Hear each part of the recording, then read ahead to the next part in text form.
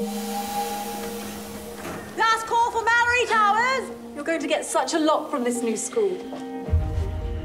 She's just the sort of girl Mother warned me about. Good show, Darrell. Look! Malory Towers!